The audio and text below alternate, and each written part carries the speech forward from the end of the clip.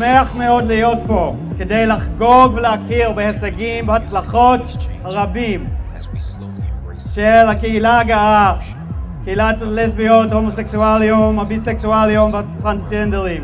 היום הוא יום לחגוג בו.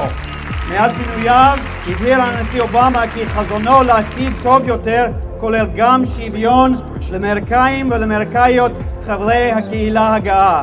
לפני שנתיים הצהירה מזכירת המדינה קלינטון כי זכויות האדם הן זכויות ההומוסקסואלים וזכויות ההומוסקסואלים הן זכויות האדם. חג גאווה שמח. תודה רבה.